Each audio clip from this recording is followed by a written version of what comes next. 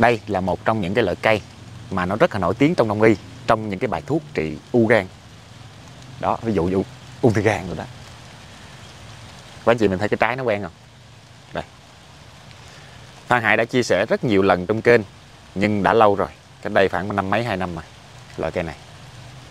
Trái quá trời của anh chị mình thấy chưa? Thì đây là cây xạ đen hòa bình. Của anh chị mình thấy cái độ nổi tiếng của cây xạ đen hòa bình nó nổi tiếng đến mức độ nào của anh chị mình biết rồi thì trong những cái bài thuốc dân gian mà hỗ trợ điều trị u gan thì có cái cây xà đen hòa bình này. Đọt tím này của anh chị. Đây. Anh chị mình thấy đọt nó tím chưa? Này,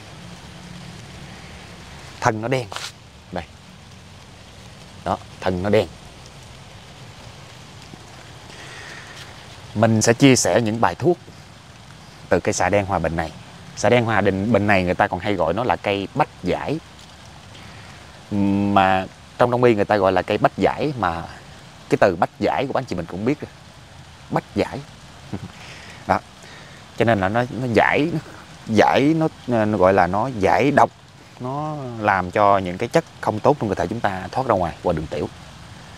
Đó nó làm cho cái à, khối u lỏng ra và nó lấy nó làm nó đưa cái chất lỏng ra ngoài cơ thể chúng ta. Đó nếu hợp cơ địa thì rất tuyệt vời. Và đây là một số bài thuốc từ cây xà đen hòa bình này sau khi chia sẻ bài thuốc xong, mình sẽ cho các anh chị mình xem cận cảnh cái hình ảnh cây sa đen hòa bình và cách chúng ta muốn có cây giống để trồng hoặc muốn có dược liệu khô để sử dụng. Để có được bài thuốc hỗ trợ và điều trị u gan thì chúng ta sử dụng cái loại dược liệu này như thế nào? Đây. Của anh chị mình lấy cho Hải là 60g cây xà đen hòa bình khô, thân và lá. Nếu có lá không thì càng tốt. 60g khô. Bỏ vào nồi. Lấy cho Hải thêm ờ, 40g cây bạch hoa xà thiệt thảo. Thì cái bạch hoa xà bạch hoa xà thiệt thảo là cây gì? Thì đây này cô bác chị, đây là cây bạch hoa xà thiệt thảo nè. Mà nhìn một đám cối này cô bác chị phân biệt được không? Đây. Nó đây. Quá chị nhìn kỹ ha. Đó, đây là cây bạch hoa xà thiệt thảo đây đây nè, hoa nó thành từng chùm nè. Đó. Và lá của nó đây, người ta hay coi gọi là cây lưỡi đồng hoặc cây lưỡi rắn đó. thì cái lá của nó giống cái lưỡi con rắn nè. Đó, các bạn chị nhìn xem kỹ nha. Đây. Hoa của nó đây. Lá của nó đây. Này. Trái của nó là chùm chùm như vậy. Trái chùm chùm á, các bạn chị mình thấy chưa?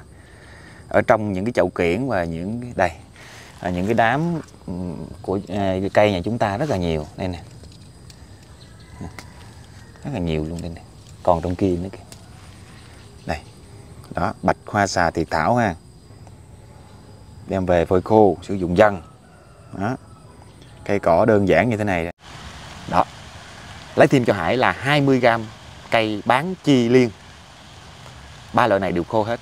Của anh chị mình bỏ vào nồi. Đổ cho Hải một lít rưỡi nước. Và nấu sôi lên. Và sau khi sôi, chúng ta nhỏ lửa lại để cho nó sôi nhỏ lửa ở trong vòng khoảng 15 đến 20 phút. Và của anh chị mình bắt đầu là tắt bếp và chắc lấy cái nước đó, chia đều rồi uống trong ngày, uống sau khi ăn 5 đến 10 phút. Và bệnh này chúng ta phải kiên trì sử dụng tháng này qua tháng nọ, nó kìm bệnh lại và nó từ từ từ nó giảm giảm và sức khỏe chúng ta càng ngày càng phát triển lên. Trị bệnh thì chúng ta phải hiểu như thế này, tiên khí hậu huyết, tiên khí là gì? Tiên khí có nghĩa là chúng ta dùng bài thuốc trị bệnh đó còn hậu huyết là gì? Hậu huyết là chúng ta bổ máu. Cho nên trong cái quá trình điều trị thì chúng ta nên ăn, bồi bổ vào cơ thể vào. Bồi bổ để làm cái gì? Bồi bổ để sức đề kháng và cái thể trạng cơ thể chúng ta được nâng lên. Cộng với lại cái tác dụng của thuốc thì cái bệnh chúng ta nó sẽ từ từ nó sẽ giảm giảm giảm. Đó. Đó là bài thuốc thứ nhất từ xã đen hòa bình bán chi liên và cây bạch hoa xà thiệt thảo. Và đây là một cái bài thuốc thứ hai bài thuốc thứ hai này là một cái bài thuốc để chúng ta hỗ trợ về vấn đề bệnh gan những cái bệnh về gan ví dụ bệnh viêm gan. Viêm gan abc rồi đó. Thì cây này nó nó nó, nó thuộc về gan mà. đó của bác chị mình thấy hai trồng này. Đó nó không á. Đây. Nó nguyên hàng của bác chị mình thấy chưa? Đó. Thì của bác chị mình lấy cho Hải là 40g cây bạch hoa xà thiệt thảo này. Tự là khô 40g khô. Lá và thân cành lưu ý không sử dụng những cái loại lá đọt non và lá cái lá lá non này không sử dụng. Chúng ta sử dụng cái lá khô à, cái lá già và cành già thì nó sẽ tốt hơn. 40 gram đó. Cô anh chị mình bỏ vào nồi 40 gram à, bạch hoa à, 40 gram cây xà đen hòa bình khô bỏ vào nồi. Lấy cho Hải 20, 20 đến 30 gram cây cà gai leo khô. Cà gai leo Hải cũng đã chia sẻ rất nhiều lần rồi cà gai leo khô. Thì à, đây này cô bác chị đây là một cái loại dược liệu hôm nay Phan Hải muốn chia sẻ cho các anh chị mình.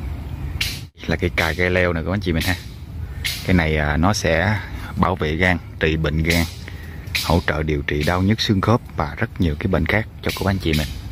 Đây trái nó chín đây. Đó. Bỏ vào nồi.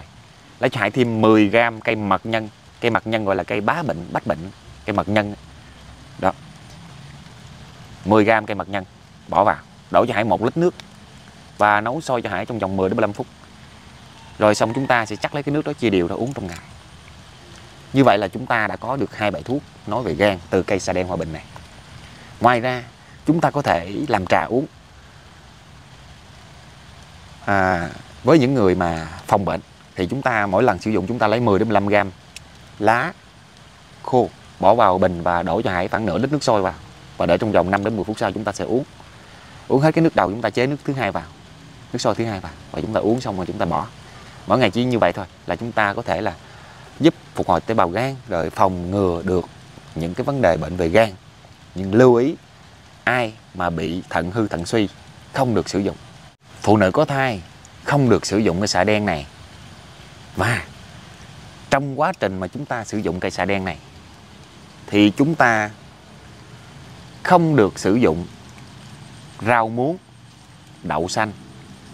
Đây, hoa của nó đây cái trái hồi nãy của bán chị mình thấy rồi đúng không? Đây là cái hoa của nó đây, hoa trắng trắng này.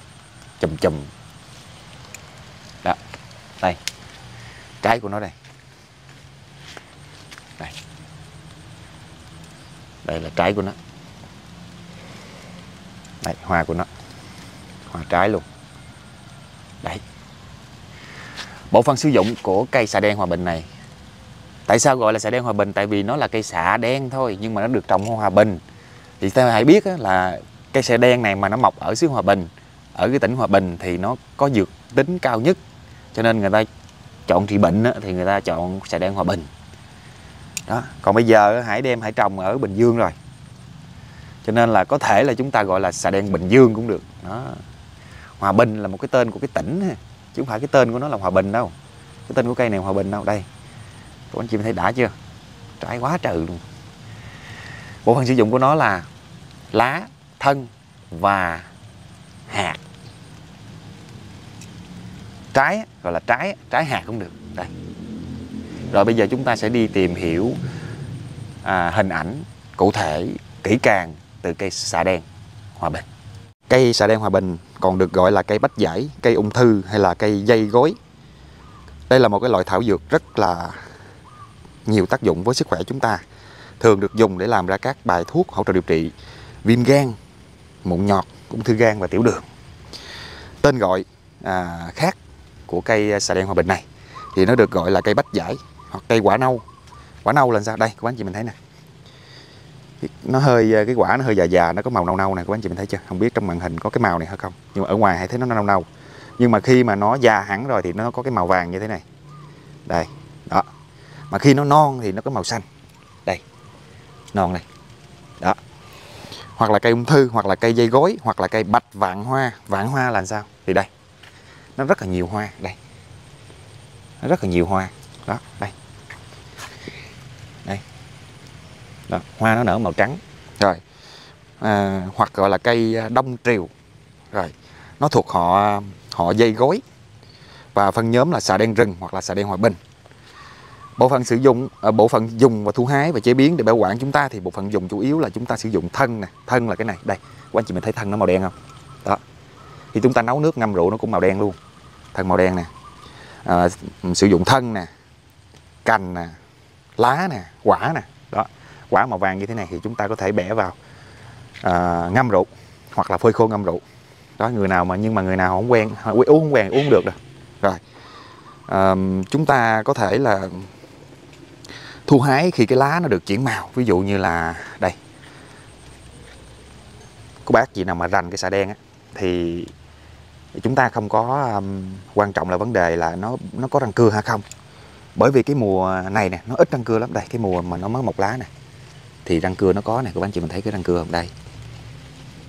Răng cưa nè đó. Nhưng mà khi lá nó càng già thì răng cưa nó càng mất. Đó càng già thì răng cưa càng mất. Lúc nó mới mọc á thì à, răng đây cũng có răng cưa này các anh chị mình thấy không? Răng cưa nhiều lắm nhưng mà cái mùa này nó không có răng cưa. Thì thân đọt nó tím như thế này người ta gọi là xà đen. Đó thân đen. Rồi nước cũng sau này chúng ta nấu nước nó cũng đen luôn. Rồi khi mà à, cái lá nó chuyển màu đây màu non nè màu già nè đó thì nó chuyển màu nè thấy không? Thì chuyển màu thì chúng ta sẽ thu hái ha thu hái à, và lưu ý là chúng ta không có dùng cái thân non này nó không có tác dụng ha. Thân già chúng ta mới dùng. Rồi thì chúng ta có thể ờ, quả thì khi mà chín thì chúng ta có thể ờ, đem về và sử dụng hoặc là ươm ươm trồng. Đó sử dụng tươi hoặc sử dụng khô cũng được. Quả này thì thường người ta để ngâm rượu các bác chị mình ha. Đó.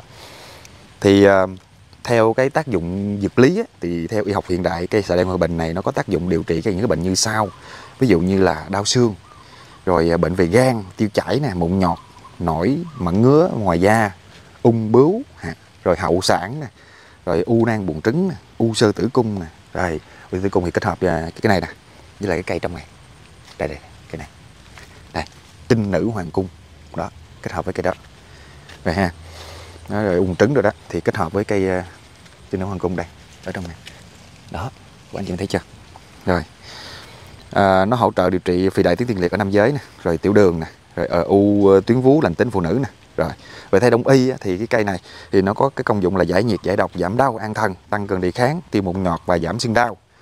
Đó đó là một cái số thông tin mà Hải muốn chia sẻ cho quý anh chị mình lại kỹ lại từ cái cây xạ đen hòa bình này. Nó có giúp đỡ chúng ta rất là nhiều trong cuộc sống. Và làm sao để có giống cây này trồng? Hải ở Bình Dương mà tại sao Hải có giống về trồng? Nó không có khó. Cái khó là chúng ta có quyết tâm hay không mình chỉ của anh chị mình cái cách để mà chúng ta lấy về trồng. Bởi lẽ làm gì? Hãy hồi nãy đã nói chúng ta có thể pha trà uống. Thay vì chúng ta uống trà bình thường thì chúng ta sẽ lấy trà thuốc này chúng ta uống. Đó. À, nếu mà chúng ta trồng pha trà uống trồng trồng một hoặc hai gốc thôi. Bởi vì nó nó nhiều lắm. Khi nó lớn lên nó nhiều lắm. Đây các anh chị mình thấy nè. Đây. Ở đây có ba gốc mà một hàng luôn nè. Đó. thì quá chị mình đặt mua trên mạng trên shopee rồi đó. Nha nó nhỏ thôi. Hải không có quảng cáo cho kênh nào hết á cho nên là hải nó nhỏ thôi. Của anh chị mình cứ lên đó tìm mua cây xà đen hòa, hòa bình giống mỗi cây có 10 ngàn 5 ngàn. Rẻ. Còn muốn mà, mà mà có đang bệnh mà muốn mà có thì chúng ta cũng tìm mua trên mạng. Rẻ lắm bảy tám chục ngàn một kg lá khô mua về. Sử dụng liền. Cái đang bệnh mà chờ trồng nữa thì chừng nào mình có mà, mà, mà, mà. cái này trồng phải ít nhất phải một năm sau thì chúng ta mới có sử dụng. Mà đang bệnh mà chờ năm sau ngày mệt à. Đó, thì cái cách để chúng ta tìm có cái cây này về trồng. Đó. Rồi, thì cũng đã xong ha. Thì cô Gia Văn Hải, chúc các anh chị mình có sức khỏe thật dồi dào và luôn luôn thành công trong cuộc sống ha. Đây là cái khu vườn nhỏ nhà Hải nè. Tàn thuốc không của các anh chị mình. Thuốc không đó. Mong rằng có thể giúp đỡ được một phần nào cho quý cô anh chị mình có của anh chị nào nhớ cái cây này không? Đây là dây kim ngân hoa. Đây là một trong 10 cái loại dược liệu mà nó giúp chúng ta tiêu viêm, kháng viêm, kháng khuẩn, đề kháng rất là tốt. Hoa nó rất thơm, sử dụng lâu dài, chống lão hóa, nâng cao tuổi thọ. Pha trà uống thôi, lấy cái hoa này, pha trà uống. Rồi, thì à, chúc quý anh chị mình có sức khỏe thật dồi dào và luôn luôn thành công cuộc sống ha. Bây giờ Hải đến đây, Hải xin được kết thúc. Bây giờ xin chào xin hẹn gặp lại quý anh chị mình trên kênh youtube Văn Hải Channel. Và video tiếp theo.